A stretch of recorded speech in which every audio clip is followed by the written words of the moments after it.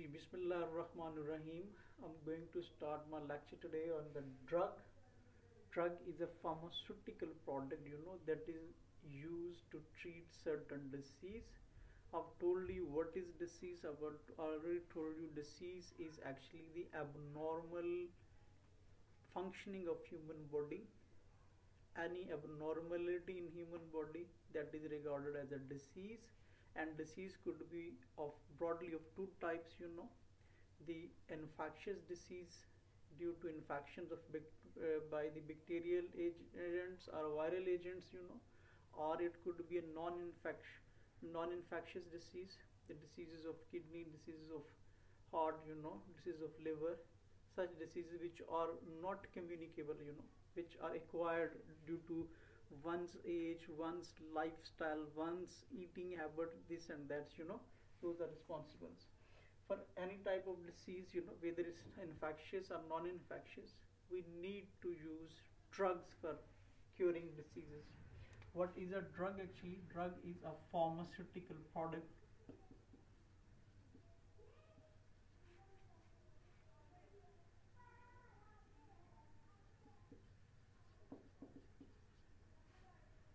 it's a pharmaceutical product. It's a chemical in nature you know. It's a chemical in nature. Actually drug is a chemical that is used to bring body back to its normal functioning. Whatever the abnormality has been caused to the body the body is in a disease condition the drug is used to treat that abnormality and put back to its normal functioning. That is drug you know. What drug actually does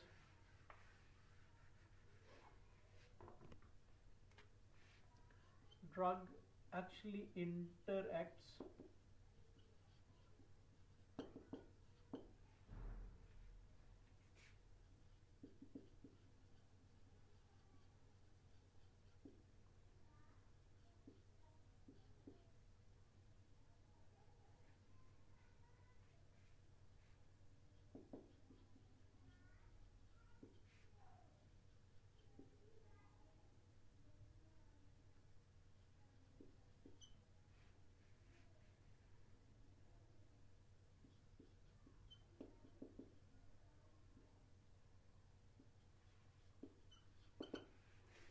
increase drug is actually a pharmaceutical product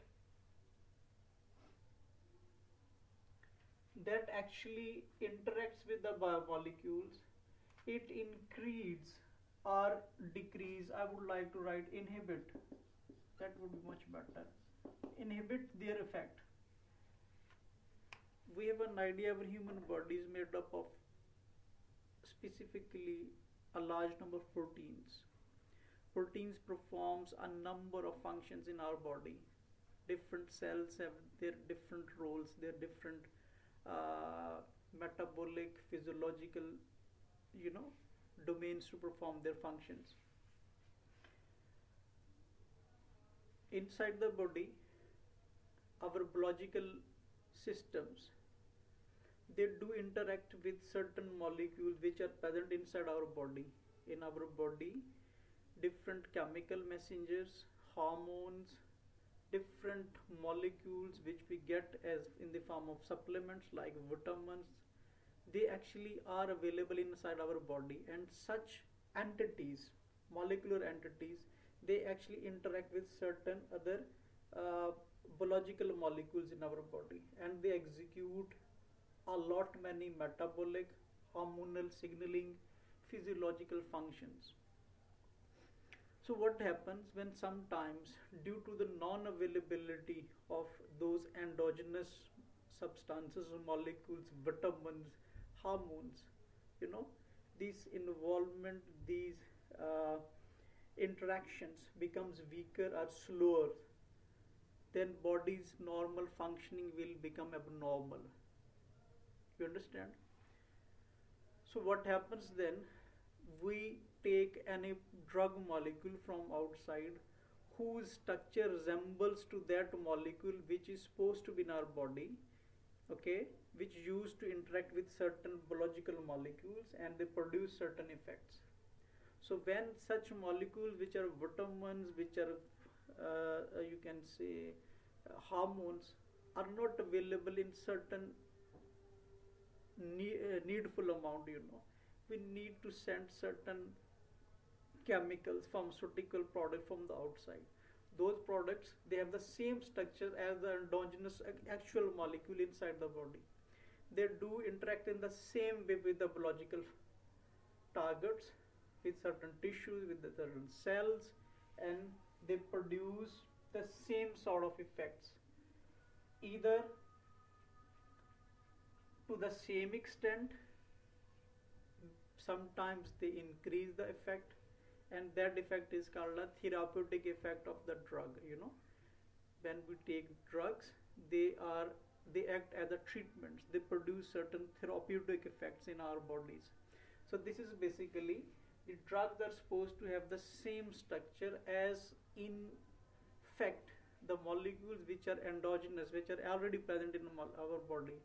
They have the similar structures so they actually replace, they substitute the endogenous molecule and try to interact with the uh, biological molecules, proteins, enzymes, receptors, and they produce similar effects. Okay, sometimes the extra availability of endogenous molecules that produces extra effects in the body. So, in order to reduce the effect, to the normal line the drugs is having the same sort of structure is taken which moves through the circulatory systems you know systematic circulation through blood reaches its specific site and make contact with the biological molecules.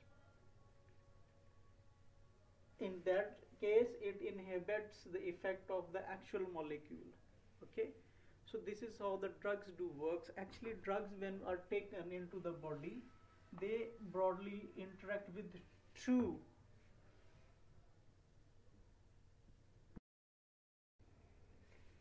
drugs when taken into the body they actually interact with two main uh, biological molecule inside the body. One could be the enzymes. We have an idea there are so many enzymes are involved in our biological processes in in body. You know, there are receptors. We have idea on the cell surfaces. If it's a cell, cell surfaces carry so many receptors. Hmm? So inside the body, certain chemical entities, let's say this type, I could draw a chemical entity, a hormone is there. Hmm? This hormone approaches this sort of receptors and when it gets in contact with the receptor it makes some changes as a result this cell starts to do certain function let's say this cell starts to send some signaling mean this interaction of endogenous molecule with the receptor has made the cell to respond.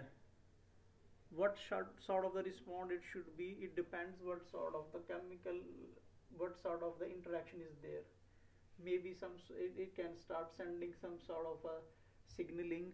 It can start some synthesis of start synthesis of certain hormones. It can start synthesis of certain proteins this is how it could be you know so drugs, what could be the drug doing really?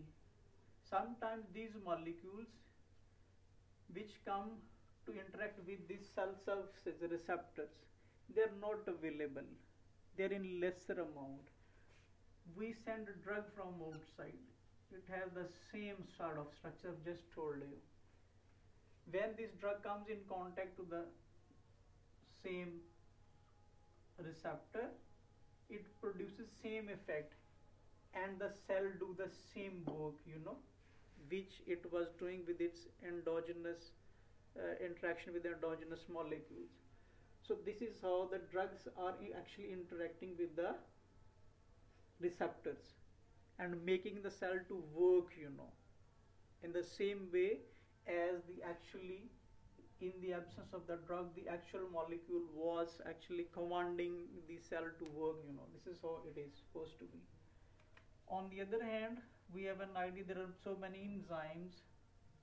We have an idea enzymes have the structures cavities where certain molecules come make bond get uh, bonding over there and then when it fits into the cavity enzyme starts working you know. Huh? The working of the enzymes the surface of the enzyme should make uh, attachment bonding with certain molecules you know. This is how it happens in naturally in our bodies. Again in the absence of certain enzymes we send drugs. Drugs having the same structure.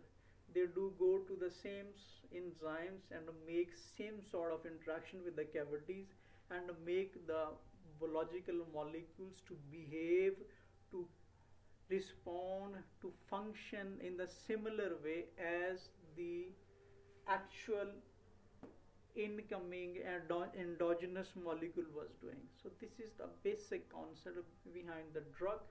Sometimes those internal molecules when they come in contact with the enzymes their number is so high or maybe there is certain changes in the structure this activity of enzymes is hyper now it activates it gets activated you know. Means the body's normal functioning become abnormal. So want to make enzyme to control its function we send drug which make bond with the surface of the enzyme and it inhibit the actual bonding of the actual endogenous molecule with the enzyme. So this is how the drug will act as an inhibitor. It will not allow the enzyme to make a bonding with the endogenous molecule. Instead the drug will, will make its bond. Okay? And then the enzyme will not be pro working properly. When we want to inhibit the function of the enzymes it's a category number two. In one category we want to make the enzyme to work function similar way as it works with the attachment of the endogenous molecule. Sometimes we want to inhibit its function.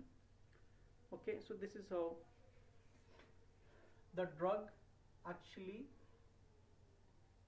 interacts with the enzymes inside the body. It acts with the receptors which are present at the cell surfaces and the basic idea of the drug is to behave like the endogenous molecules.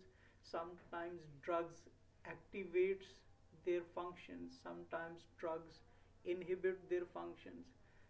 That is why the drugs are sometimes called agonists. Hmm?